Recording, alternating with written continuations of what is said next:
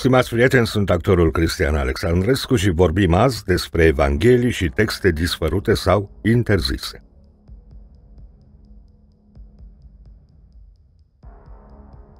Unul dintre cele mai importante manuscrise descoperite în vremurile recente este Codex Tacos, din secolul al IV-lea.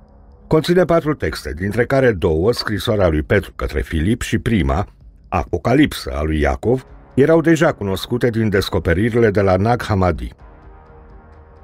Celelalte două prezente scrieri gnostice, până acum necunoscute, sunt Evanghelia lui Iuda și un text pe care cercetătorii l-au numit alogene. În decembrie 1945, un țăran arab a făcut o descoperire arheologică uimitoare în Egiptul de Sus. Acesta a recunoscut mai târziu că unele texte s-au pierdut, arse sau aruncate, dar ce a rămas este uimitor, vreo 52 de texte din primele secole ale erei creștine, inclusiv o culegere de evanghelii creștine timpurii necunoscute până atunci. Pe lângă Evanghelia lui Tomaș și Evanghelia lui Filip, descoperirea includea Evanghelia adevărului și Evanghelia către egipteni, care se prezenta drept cartea sacră a Marelui Spirit nevăzut. Un alt grup de texte constă din scrierea atribuite adepților lui Isus, precum Cartea secretă a lui Iacob, Apocalipsa lui Pavel, scrisoarea lui Petru către Filip și Apocalipsa lui Petru.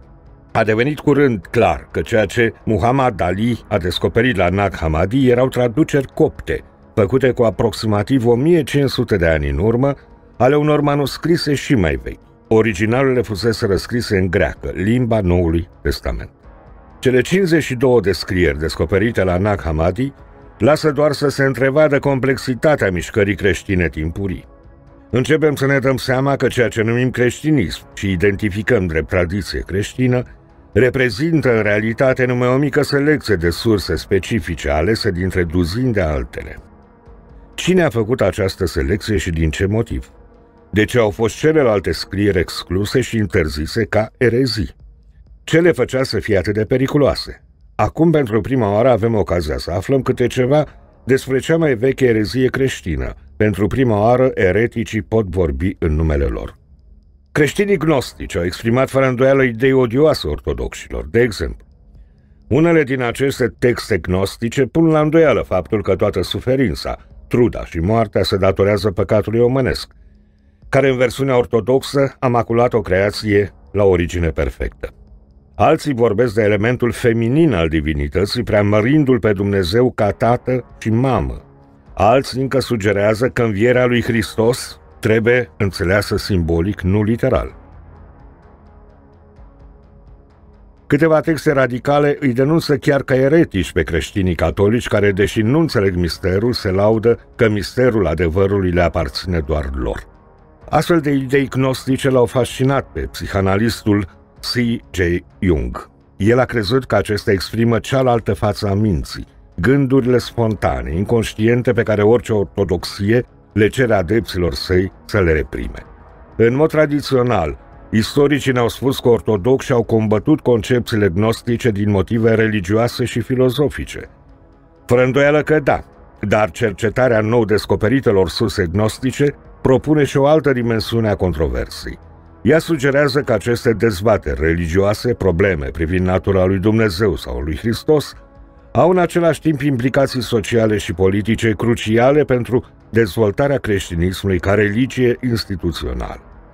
În termenii cei mai simpli, acele idei având implicații contrare respectivei dezvoltări, au ajuns să fie calificate ca erezie. Ideile care implicit o sprijineau au devenit ortodoxe. Studiind textele de la Nag Hammadi, Împreună cu surse cunoscute de mai bine de o mie de ani din tradiția ortodoxă, putem vedea cum religia și politica se suprapun în dezvoltarea creștinismului. Putem vedea, de exemplu, implicațiile politice ale unor doctrine ortodoxe precum învierea trupurilor, și cum concepțiile gnostice despre înviere poartă implicații contrare. Între timp, putem căpăta o perspectivă de o noutate surprinzătoare asupra originilor creștinismului. După ce a obținut doctoratul la Universitatea Harvard în 1970, Elaine Pagels, născută în 1943 la Palo Alto, California, a predat la Barnard College, unde a condus departamentul de religie și la Universitatea Columbia. În prezent este profesor de religie la Universitatea Princeton. A participat împreună cu alți savanți la editarea mai multor texte de la Nag Hammadi. Creștinismul ne spune că există patru evanghelii ale Noului Testament. Însă specialiștii ne spun că ele sunt mult mai multe. De ce au fost însă ele ascunse și interzise de la începutul creștinismului? Iarna anului 1886. Arheologii francezi sapă pentru descoperirea de artefacte în zona creștină a Egiptului de sus. Deodată ei fac o descoperire.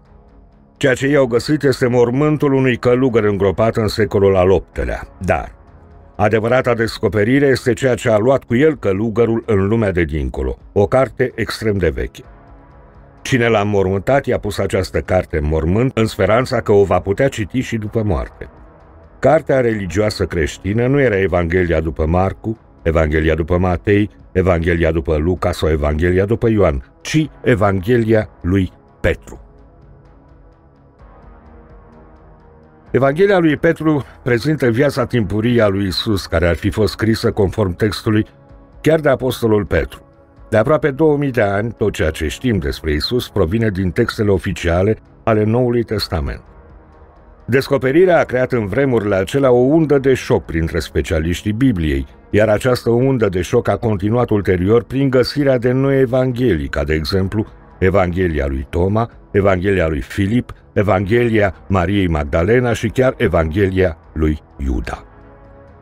Descoperirea Evanghelilor pierdute a dezvăluit de asemenea o bătălie secretă, acum uitată, dar odată extrem de importantă, o bătălie pentru spiritul creștinismului.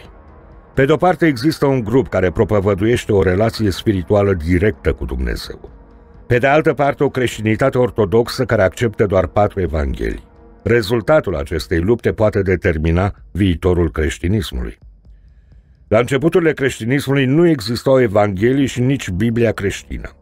Creștinismul a început în jurul anului 30 după Hristos cu un grup de evrei care urmau învățăturile lui Isus din Nazaret.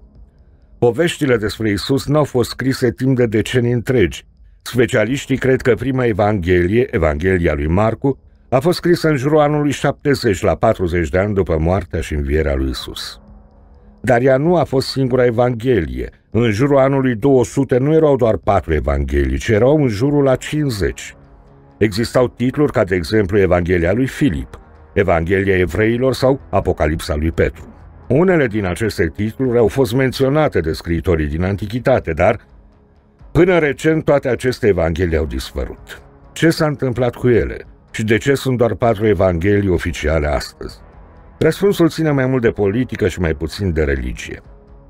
Biblia n-a căzut pur și simplu din cer, ci a fost compilată de gânditorii creștini care prezentau un anumit punct de vedere. Oricum, Ideea e că Biblia creștină, așa cum o știm azi, a apărut la circa 300 de ani de la moartea și învierea lui Isus, iar cel care a determinat ca lucrurile să stea așa avea o agendă politică puternică ce nu prea avea legătură cu religia. În anul 312 după Hristos, un împărat roman pe nume Constantin, un păgân care credea în zei, a pretins că a avut o viziune a crucii înaintea unei bătălii. După victorie, el s-a convertit la creștinism făcând o religie a semi-oficială a statului. Constantin s-a folosit de religia creștină pentru a uni un imperiu care se destrăma. În vremurile acelea, creștinismul conținea mai multe biserici cu credințe diferite și scripturi diverse. Împăratul intenționa să schimbe acest lucru. În anul 325, împăratul Constantin a convocat conciliul de la Nicea pentru a decide învățăturile de bază ale creștinismului. El i-a reunit pe cei mai puternici lideri ai bisericii creștine din toată lumea pentru a discuta crearea unei religii creștine unice și unite. Împăratul Constantin avea interes ca să existe unitate. El își dorea ca religia creștină să ofere baza ideologică pentru Imperiul Roman. Scopul conciliului de la Nicea era să unească credința atât din punct de vedere religios cât și politic. După săptămâni de dezbateri, episcopii și preoții au ajuns la o serie de principii care să unească creștinismul și să treacă această religie sub controlul împăratului. În timpul lui Constantin, pentru creștinism lucrurile s-au schimbat radical. Avem o redefinire a felului în care Dumnezeu trebuie înțeles. Acum, Dumnezeu este protectorul statului. Împăratul Constantin a unit de asemenea și evangheliile creștine și a limitat numărul de evanghelii pe care el le considera potrivite pentru religia de stat. Deși conciliul de la Nicea nu a adoptat texte oficiale, împăratul Constantin a indicat clar care evanghelii le consideră el a fi acceptabile. El a dat dispoziția să se tipărească 50 de copii ale Bibliei creștine și care conțineau doar evangheliile lui Marcu, Matei, Luca și Ioan. Ce s-a întâmplat cu celelalte evanghelii? În anul 382, un alt conciliu creștin a interzis creștinilor să citească celelalte evanghelii. Sub împăratul creștin Teodosius, toate celelalte evanghelii au fost considerate a fi eretice. Ele au fost arse, iar cei care le dețineau au fost arestați sau chiar uciși. Ce conțineau aceste evanghelii eretice? Ce era atât de amenințător încât ele trebuiau interzise și distruse? Nimeni n-a știut circa 1500 de ani, dar în 1886, Evanghelia lui Petru s-a ivit din nisipurile egiptene, așa cum spuneam la începutul articolului. Alte descoperiri uluitoare au urmat în secolul al XX-lea. Evanghelia lui Toma, a Mariei Magdalena, a lui Iuda. Aceste evanghelii dezvăluie un Isus total diferit, oferă o abordare diferită a spiritualității. De exemplu, în Evanghelia lui Toma se susține o conexiune personală cu Dumnezeu, fără a mai fi nevoie de biserici organizate de preoți și episcopi. Avem totuși și puncte de vedere diferite față de cele prezentate mai sus. Deci, ne lovim de argumente contradictorii, ceea ce pentru mulți produce o stare confuză. Este o mare descoperire. Mulți oameni vor fi tulburați. Va schimba modul în care înțelegem începuturile creștinismului. Aceste afirmații pline de dramatism au fost făcute de unii erudiți care salutau publicarea Evangheliei după Iuda. Un text considerat pierdut mai bine de 16 secole. Oamenii au început să manifeste din nou interes față de Evangheliile apocrife. Unii pretind că aceste texte dezvăluie evenimente și învățături importante din viața lui Isus, care mult timp au fost ținute secrete. Dar ce sunt Evangheliile apocrife? Pot ele în realitate să ne învețe adevăruri despre Isus și despre creștinism, adevăruri pe care nu le găsim în Biblie? Între anii 41 și 98 era noastră, Matei, Marcu, Luca și Ioan au scris istoria lui Isus Hristos, Matei 1 cu 1. Aceste consemnări sunt numite și Evanghelii, termen care înseamnă veste bună. Vestea bună se referă la Isus Hristos, Marcu 1 cu 1. Deși au existat probabil atât tradiții orale cât și alte scrieri despre Isus, aceste patru evanghelii au fost singurele considerate inspirate de Dumnezeu și demne să facă din Sfintele Scripturi. Ele sunt singurele care oferă informații demne de încredere în legătură cu viața pământească și învățăturile lui Isus. Luca 1, 1 cu 4, Faptele 1 cu 1, 2 cu 2, Timotei 3 cu 16, 17. Aceste patru evanghelii sunt menționate în toate catalogele antice ale scripturilor grecești creștine. Nu există niciun motiv pentru a le pune la îndoială canonicitatea sau statutul de scrieri ce fac parte din cuvântul inspirat al lui Dumnezeu. Cu timpul însă au început să apară și alte scrieri pe care unii le-au considerat evanghelii.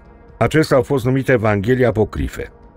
La sfârșitul secolului al II-lea, Irineu de Lyon a scris despre cei ce se rătăciseră de la creștinism că aveau nenumărate scrieri apocrife și mincinoase, inclusiv evanghelii pe care ei înșiși le falsificaseră pentru a stârni confuzie în mintea celor neinstruiți.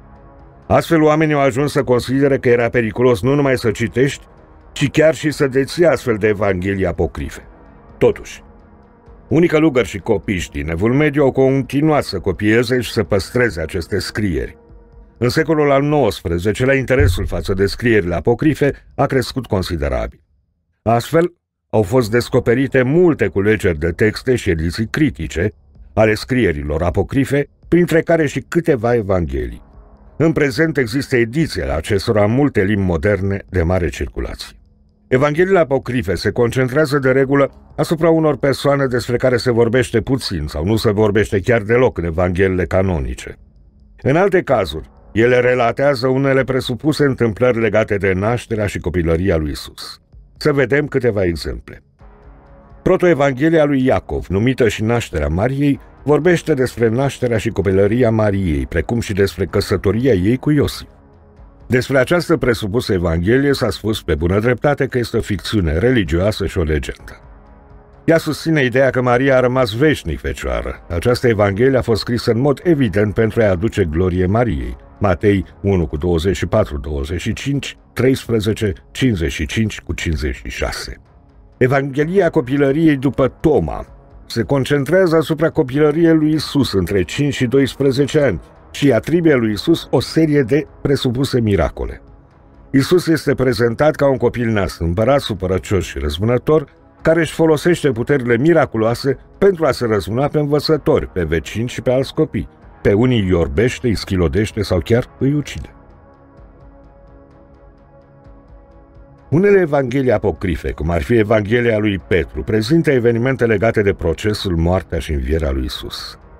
Altele, cum ar fi faptele lui Pilat, care face parte din Evanghelia lui Nicodim, vorbesc despre unele persoane care au avut legătură cu acele evenimente. Inventarea unor întâmplări sau chiar a unor personaje discreditează complet aceste texte. Evanghelia lui Petru încearcă să-l dezvinovățească pe Ponțul Pilat și prezintă învierea lui Isus într-un mod fantasmagoric. Evanghelia după Toma, Evanghelia după Filip și Evanghelia adevărului, care fac parte din colecția de manuscrise găsite la Nag Hammadi, prezintă diferite idei mistice aparținând gnosticismului ca și cum ar proveni de la Isus.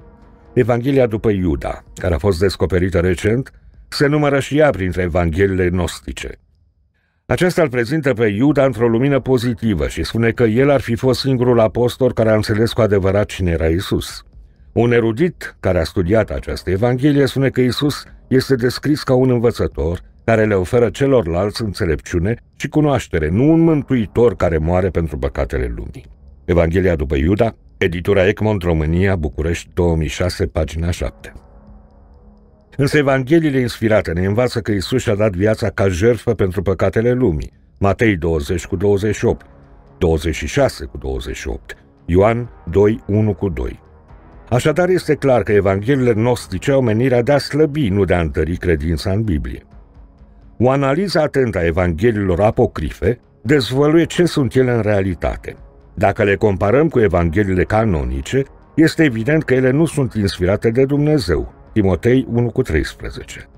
Întrucât au fost scrise de oameni care nu s-au întâlnit niciodată cu Isus sau cu apostolii săi, Evangheliile apocrife nu au cum să dezvăluie vreun adevăr ascuns despre Isus și despre creștinism. Ele conțin mai degrabă relatări inexacte, inventate și fanteziste, care nu ne ajută în niciun fel să cunoaștem mai bine viața și învățăturile lui Isus. Timotei 4, 1 cu 2 Cât despre scriitorii Evangheliilor canonice, Matei și Ioan s-au numărat printre cei 12 apostoli, iar Marcu și Luca au fost colaboratori apropiați ai lui Petru, respectiv Pavel. Ei și-au scris Evangheliile fiind îndrumați de Spiritul Sfânt al lui Dumnezeu, Timotei 3, 14 cu 17.